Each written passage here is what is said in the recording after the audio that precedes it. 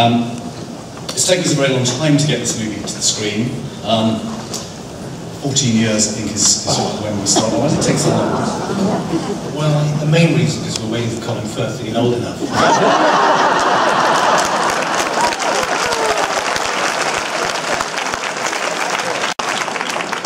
People have asked us why it took us so long. And actually, the real question is why these guys uh, carried on fighting for it so long, uh, why they stuck with it, because normally if something takes that long, you would drop it. And the answer to that is the real Eric Lomax. It was a fantastic privilege to know him and to have him in our lives. Um, and I just want to share one little memory with you because you'll see a shot in this film of Colin Firth looking soulfully at a railway viaduct in the north of England towards the end of the film.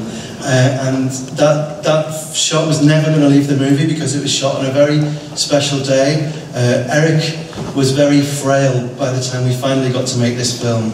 And Andy and Chris organised to shoot some of the film more or less at the bottom of his street so he could come out and enjoy uh, being the centre of attention and being on the set.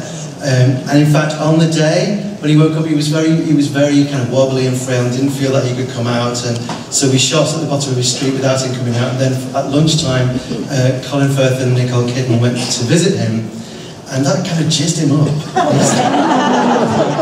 Like to go on the set, and by then we'd moved to the top of this hill, this wind-blasted hill, which is the hill that you'll see in the shot. And it would have been, it was really, really difficult to get him up there. And all the sparks and all the electricians and everybody hoisted him up on his wheelchair. It was like something out of a Herzog movie. and we got him up there. And he had this fantastic day.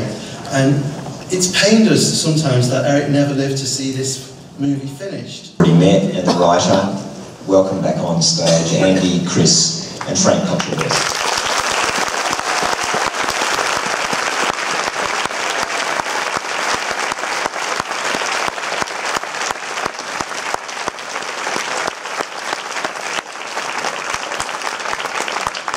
Uh, the first of our cast, uh, welcome on stage, uh, Tanroh Ishida, Hiroyuki Sanada, and Jeremy Irvine.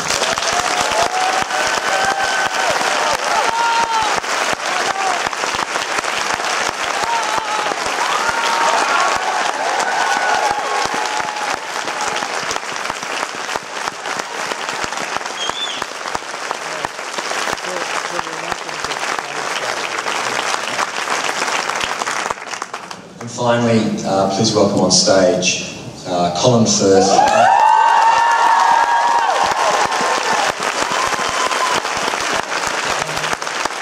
Accompanied by Patti Lomax.